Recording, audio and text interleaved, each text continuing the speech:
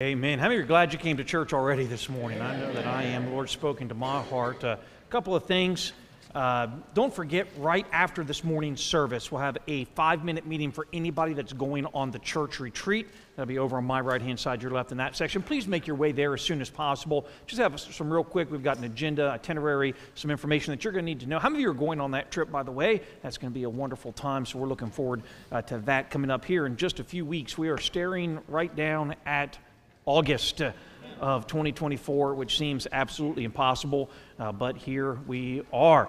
Um, another thing, I wanted to thank everybody who was out was part of the workday. We had a great crowd out for the uh, family uh, breakfast, and uh, thankful for all the men that labored in preparing the breakfast, all those who were here, and uh, what a great and wonderful time for our church family.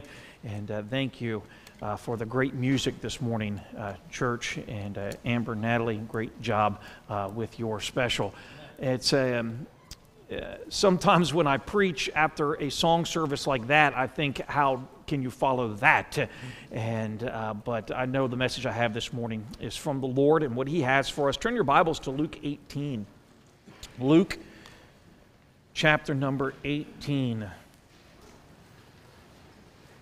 Of course, we're still in our series on the parables of Jesus. How many of you enjoyed uh, our study so far in some of the parables? I know that I've received uh, some understanding in some areas regarding these parables uh, that maybe I had a lack of understanding or misinterpretation previously. So it's been helpful uh, to me, and I pray that it has been to you as well. There's some uh, unique qualities about uh, this parable uh, that make it distinct from others. And we'll see some of those right away in Luke 18, verse number 1. It says, And he spake a parable unto them to this end, that men ought always to pray and not to faint. Boy, there's a great verse for us to remember this morning, isn't it? It's interesting here that we find out in verse number one that he tells us uh, the purpose of the parable before he even gives us the parable. It says that he spoke the parable to this end that men ought always to pray and not to faint. Uh, boy, I think every one of us could be challenged in our prayer lives, couldn't we?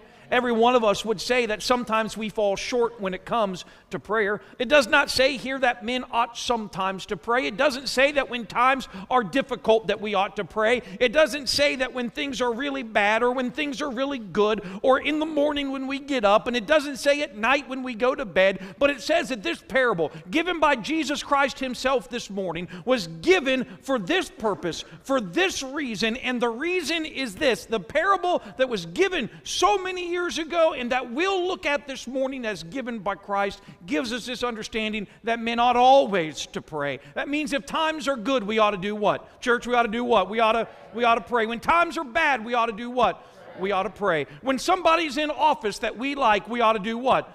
We ought, when somebody's in office that we don't like, we ought to do what? We ought to pray. Men ought always to pray. We'll look at it here in just a second. It essentially gives us two different options. And I tell you, I really like the first option better than the second. It says, Men ought always to pray and not to faint.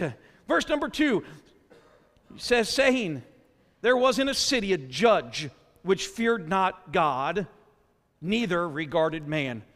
If you want to know the political landscape of our world today, just circle verse number two. I don't care what side of the aisle you fall on. Here we had a standard politician. He didn't fear God and he didn't regard man. Verse number three And there was a widow in that city, and she came unto him, saying, Avenge me of mine adversary. She was asking for justice in something that had transpired in her life. Uh, verse number four and he would not for a while. But afterward he said within himself, Though I fear not God, nor regard man, he even understood his own condition, yet because this widow troubleth me, I will avenge her, lest by her continually coming she weary me. Verse number six And the Lord said, Hear what the unjust judge saith.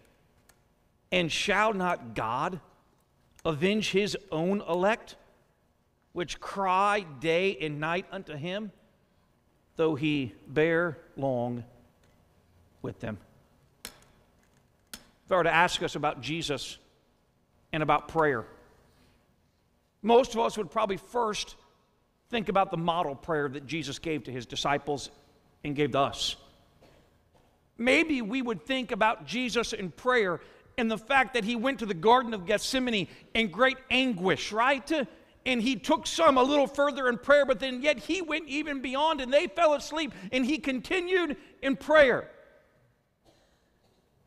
When we talk about Jesus in prayer, I don't think many would consider this passage, this parable that's often overlooked, this teaching of the Lord Jesus Christ that if we were not careful, we wouldn't be aware of its truths you know, this is a parable of contrast. What do you mean, a parable of contrast, Pastor?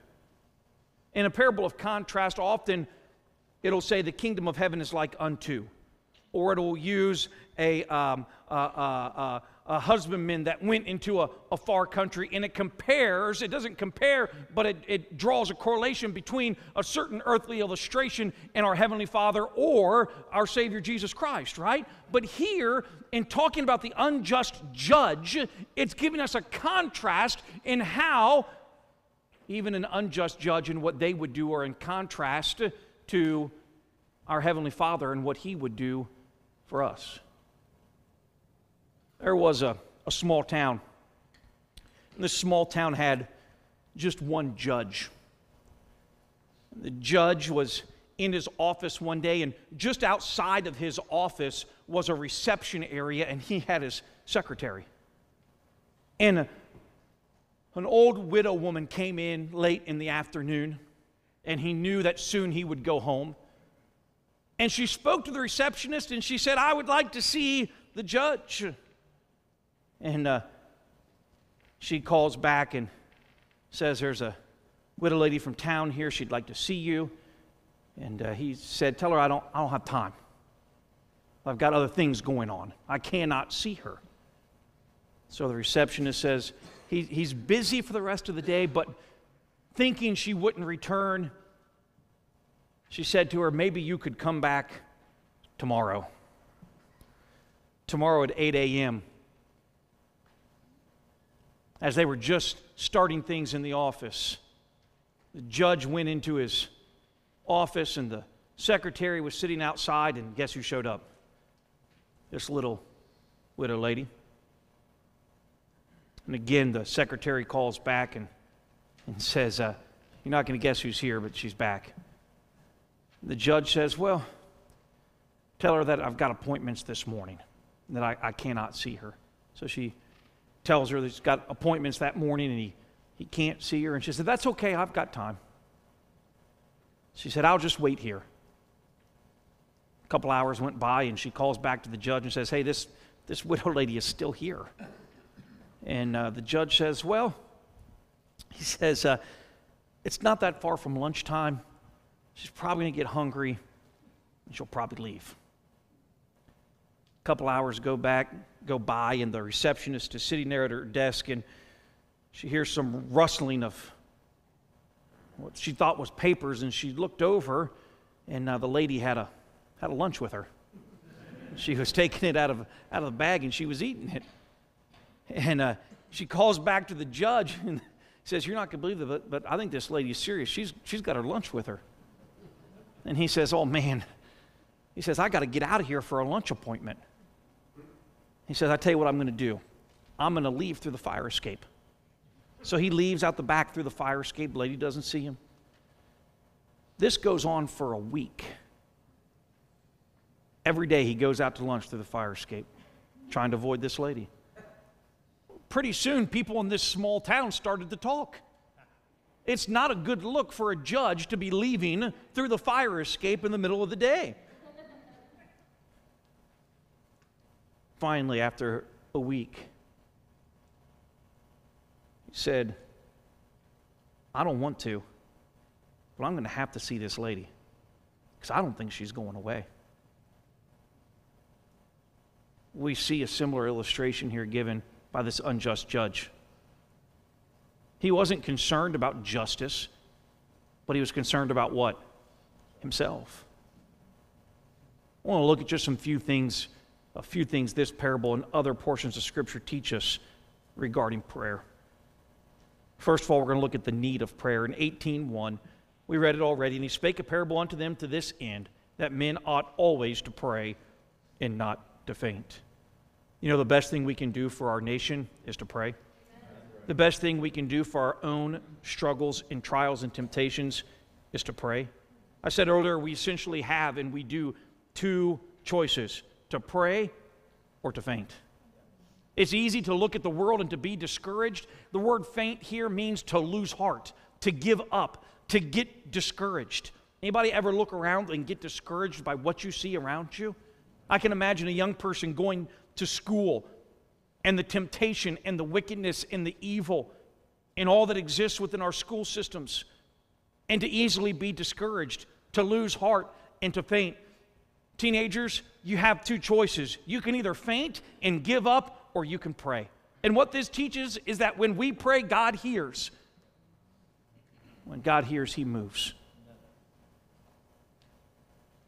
I thought, what does it mean to lose heart? I think there's two ways that we can lose heart or that we can faint. We can faint instead of pray. And we see many do this. But I believe also that we can faint in prayer. Often we lose heart because we believe that God does not hear. Often we get discouraged because we think He has not answered our prayer. Often we expect for the prayer to come through the avenue and the way that we have dictated to God in our hearts that it should. And if it doesn't come that way, well, then God has let us down. And God is not just and God is not right. Church, this morning, know this. When God answers your prayer and He doesn't answer it your way, He is still just and He is still right and He still knows what is best for your life. Sometimes we faint instead of pray. And sometimes I believe that we faint when we pray. Not only do we see this great need of prayer that's established from the very beginning of this text, that men ought always to pray. The scripture tells us to pray without what? To pray without ceasing.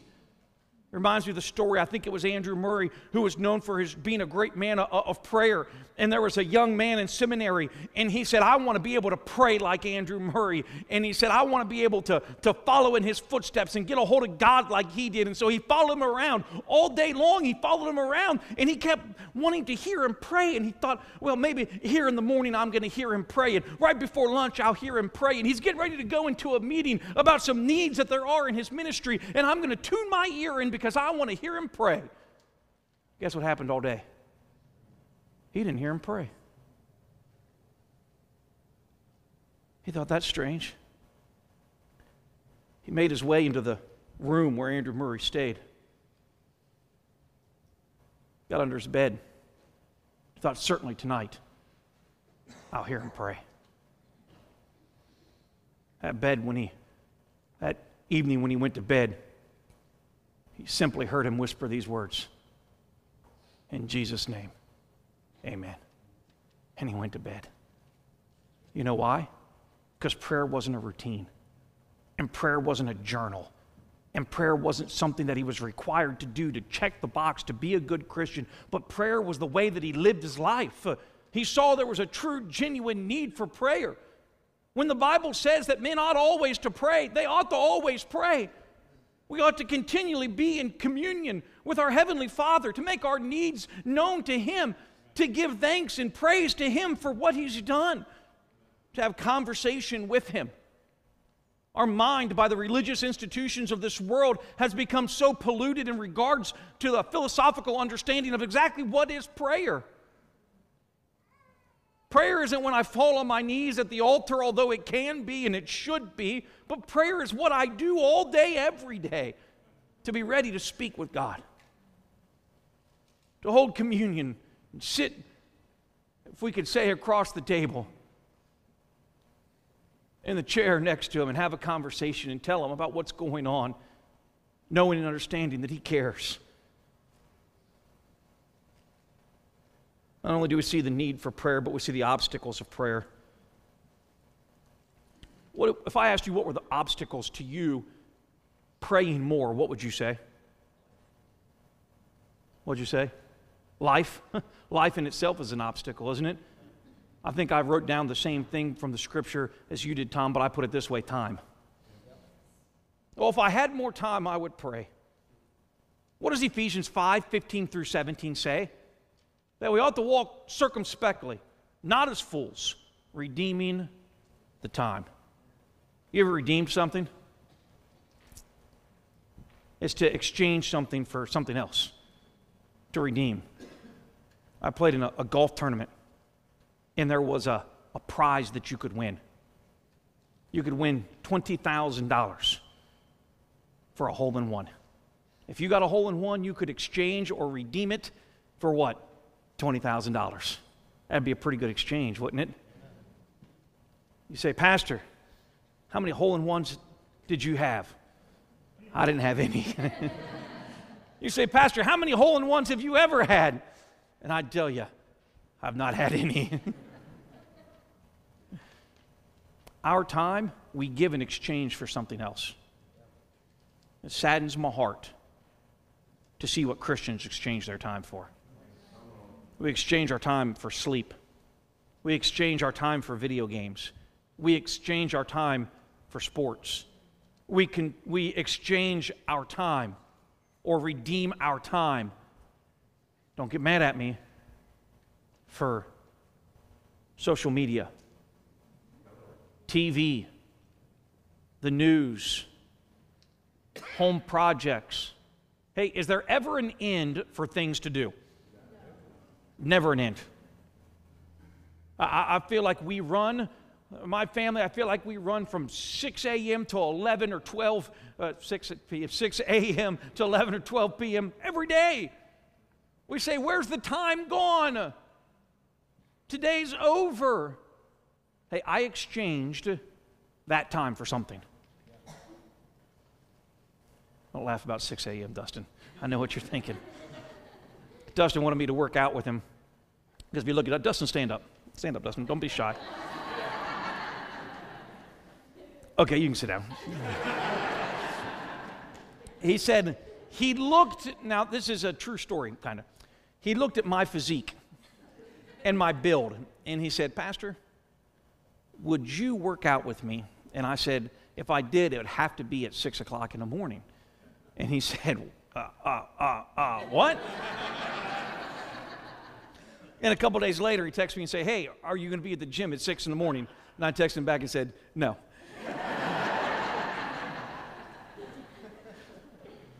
People get up early, work out. You know what they're doing? They're redeeming their time for something. Teenagers, what do you redeem your time for?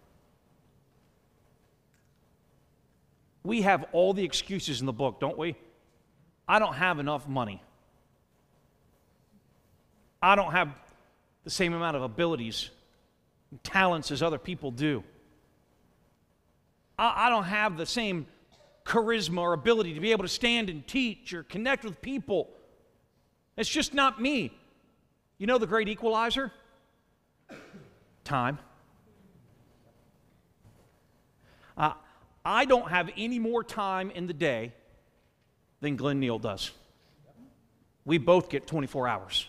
The question is, how are we using it? We say that time is an obstacle to prayer. But the truth is this our carnal flesh is an obstacle to prayer. What we want to do ourselves, how we want to live our lives, often interrupts the holy life that we should be living that's surrendered to God in prayer. Time. I think there's mental difficulties that can often be an obstacle to prayer discouragement, depression, spiritual warfare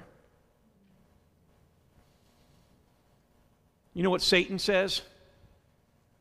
You prayed last time and it didn't work. Why are you wasting your time now? Can I tell you, prayer always works. Amen. It may not work to the end that we think. You've heard me say it before. Faith is not trusting God for the outcome that we desire. Faith is trusting God no matter what the outcome is. said that fear is what if, and faith is even if.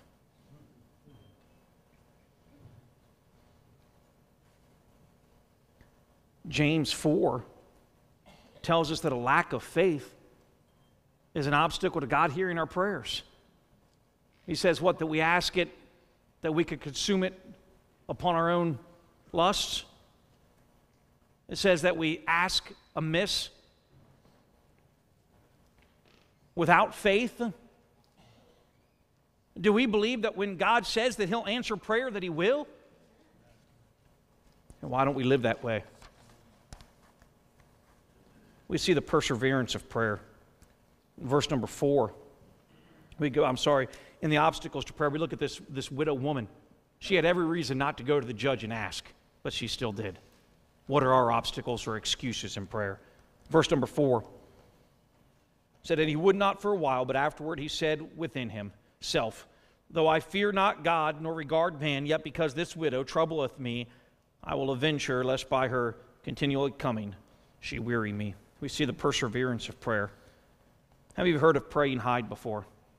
Anybody heard of Praying Hyde? Praying Hyde was a young man that grew up as a pastor's son in Illinois. And uh, Praying Hyde, his brother was in seminary. And Praying Hyde's brother died while he was in seminary. And God began to work in Praying Hyde's life. And he challenged him and he said, Why don't you go and take your brother's place? So he went to seminary. In seminary, God got a hold of his heart for prayer for missions, and he prayed and he prayed and he prayed.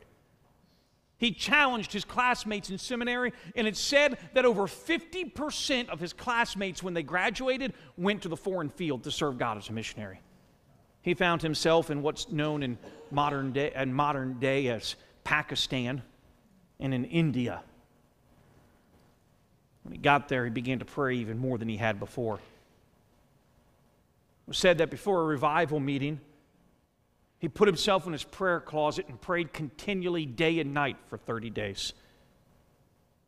In 1909, great revival swept through modern day Pakistan and India, an area that was void of the gospel, filled with pagan and false religions, turned their heart to God because a man was willing to pray.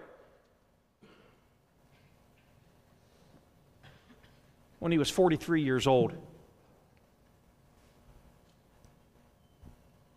That strikes a different chord with me. I'm 43 years old. They found out that he had a brain tumor.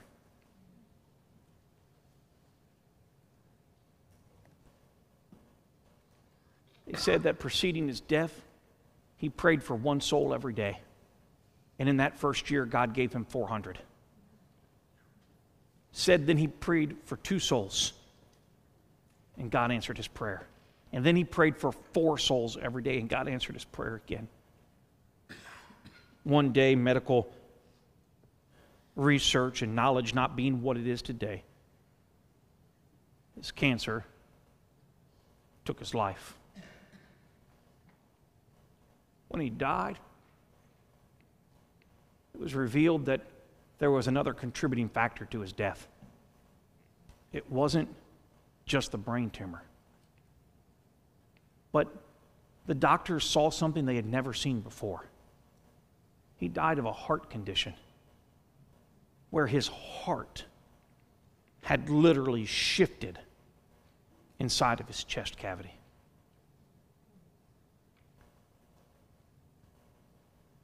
They said the reason was because his favorite way to pray was bowed down on his face before God.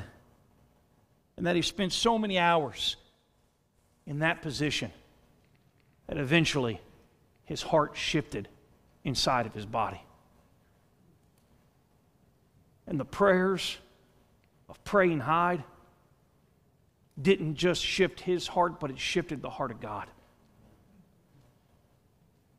and men repented, and families were reached, and a world was impacted. And a testimony stands even today from a man who said, day or night, he said, men ought always to pray. His life lives as an example. I can tell you, as a as an eight-year-old boy sitting in Sunday school class, and they had them little flip book stories. Anybody know what I'm talking about? That told about missionaries, and they told about praying Hyde. How God used him to reach India. I remember as a little boy thinking, well, that's something I can do. I could pray. I don't know your economic standing this morning. I don't know your biblical training today. I don't know how long each and every one of you have been saved or even what your testimony is, but I know this that every one of us has the same resource, and that resource is to get on our face before a holy God and pray. What could we do? What could happen? What would God do if we would simply pray? What if it was simply that whatever you wanted was at your disposal? You just had to ask for it. Guess what? That's what prayer is. If we ask anything according to His will, Bible says what? That'll do it. Do we believe that? What about Hannah? All she wanted was a son. Often we think that God is limited by medical. She's praying there in the temple, and Eli sees her, and she's praying, and her mouth is moving, but she's not even saying any words. And what does Eli say? How long will you be drunken? I guess if I was going to be drunk, Praise God, in 43 years, I never have. Praise God, in 43 years, I've never touched a drop of alcohol. And I can tell you this, I've been just fine without it, and I think I'll just continue to be fine without it. I don't care what a church across town says. I don't care what the new pastor that comes out and says it's okay to drink wine. I don't care what other people say. I think I'll be just fine without it. But if I was going to be drunk, I guess I'd want to be drunk with prayer. To be controlled by the Spirit of God in communion with Him. Hannah prayed, what happened? God gave her a son.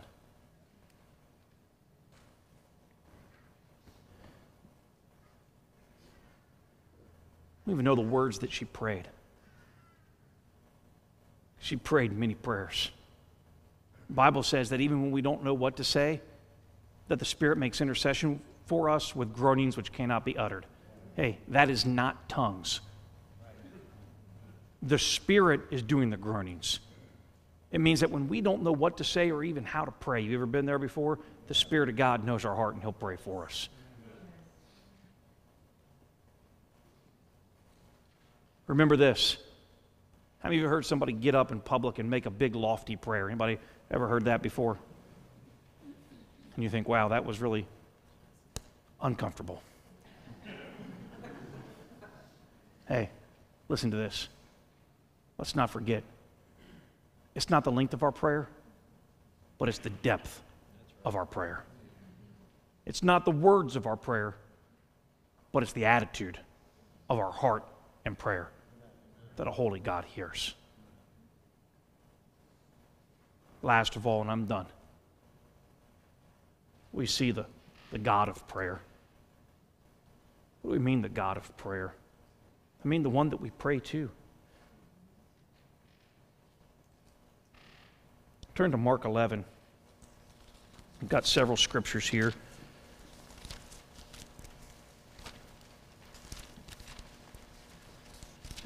Mark 11.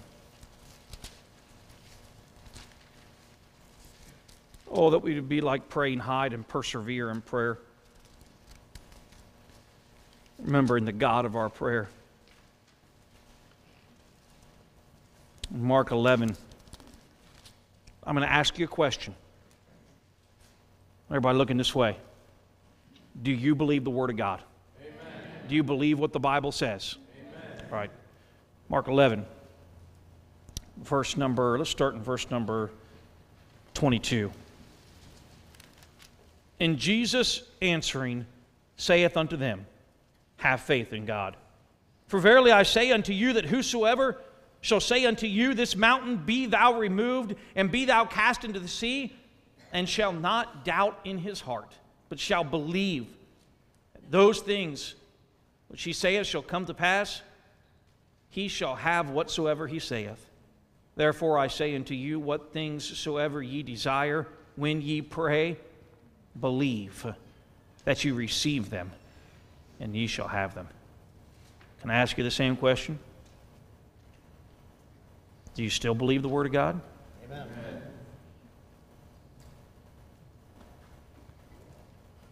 Our biblical understanding of, of prayer, I think, is very shallow.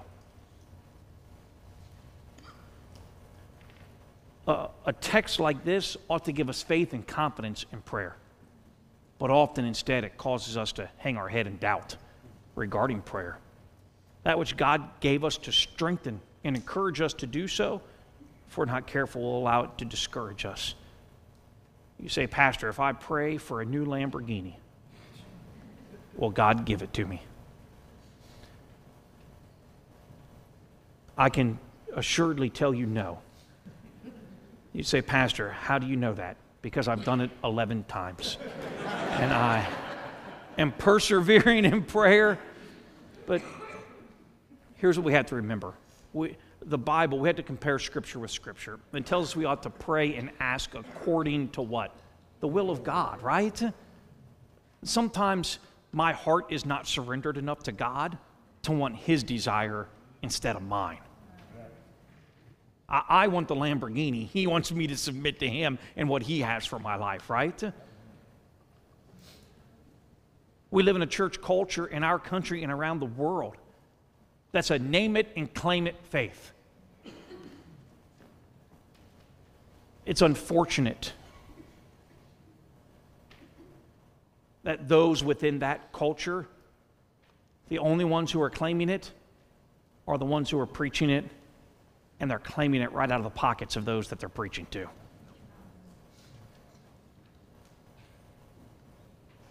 Their congregants typically live in poverty. You say God doesn't want to give us good things? He does. The problem is we want what we think is good. God wants to give us what He knows is good. Amen. You ever thought something was good for you? Come to find out it wasn't? It happens to me every time I sit down at the table. Walt and Donna Gray had us over to their house on Friday for lunch, had a wonderful time of fellowship. I ate about 20 pounds of food. They just kept, it was like a 17 course meal. They just kept bringing stuff out from Hawaii, the Philippines, you name it. Uh, I don't even know what some of it was. We just ate it. He's like, we got hot dogs, hamburgers, we got uh, fried, uh, uh, we got grilled uh, steak, we've got uh, potatoes, we got eggs, we've got peaches, and we got bananas, and we got these little hunks of meat from the Philippines, and we got these ice cream things from uh, Hawaii, and then they had what? Oh, we had them them deep fried. What are them things called, Brother Walt? Yes, yeah, we had them. we had them. We had them too. I sure thought it was good for me until I got home and had heartburn all night. we appreciate their hospitality so much. It was a good time. But isn't that how it is in our life spiritually? There's so much we think is good for us because when we consume it, as James says, upon our lust, man, it makes us feel good. But there's something that, the things I really are good for me, a lot of times I don't like. God knows what's best for us, He knows what's good. We ought to trust Him when we pray, not trust our heart. The Bible says what? Our heart is deceitful above all and desperately wicked. Who can know it? You know what the world says? Follow your heart. You know what the Bible says? Don't follow your heart. It's wicked. That sounds good, doesn't it? Follow, just, just follow your heart. You think, oh, that's good. That's, I'm going to follow my heart. Don't do it. It's wicked. You know how we all know that and we laugh? Because our hearts led us to some pretty dark places, hasn't it? I'm going to start by reading the very first verse that we began with. I want you to ask yourself this question Do you need to pray? We look in the when we look in uh, Luke chapter number 18, verse number 1. He spake a parable unto them to this end that men ought always to pray, always to pray, and not to faint. Lord, this morning, I'm challenged, convicted and my heart, by my, my prayer life. With heads bowed and, and eyes closed.